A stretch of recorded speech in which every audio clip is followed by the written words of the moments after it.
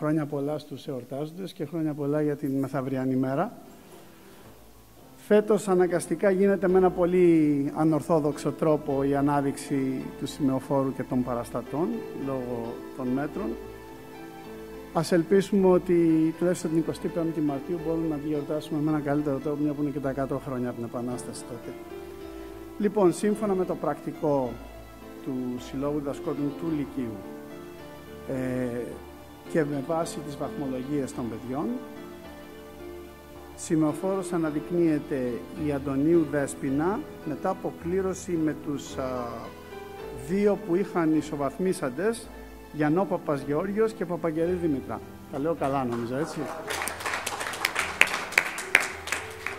Άρα, Αντωνίου Δέσποινα είναι η σημεοφόρος επισήμως. Εμείς θα δώσουμε και την ευκαιρία και στα άλλα παιδιά να κουμπίσουν τη σημαία, να είναι και οι τρεις μαζί. Ε, μαζί αλλά χωριστά, μακριά όσο μπορούμε λόγω COVID.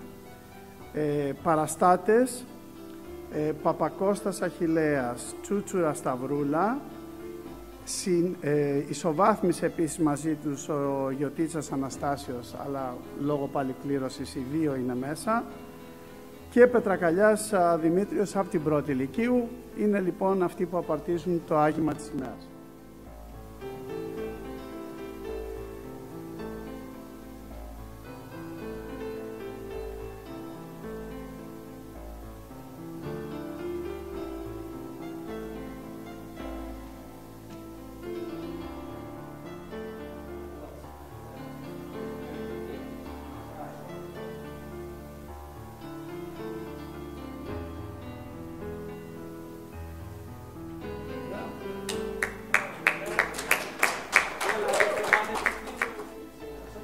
Γιαννόπουλος Νίκος. Πάμε Νίκο. Στο κέντρο όπως είδες εκεί. Μωραήτη Άννα.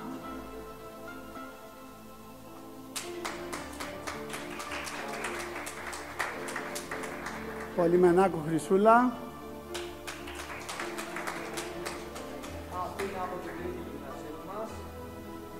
Μαυρογιώργης Μιχαήλ Μάριος.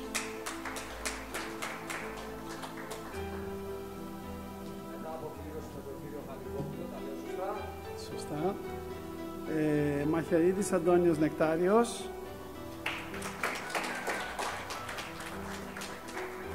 Και Λιακούτσης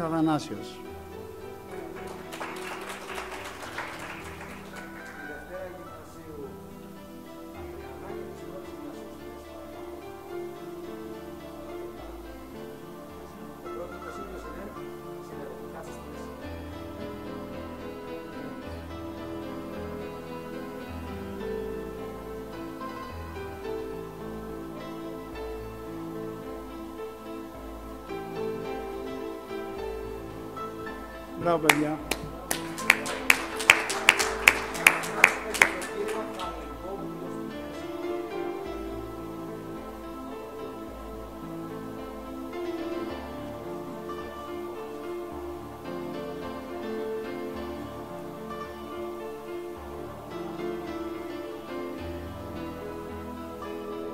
Συγχαρητήρια και πάλι σε όλους.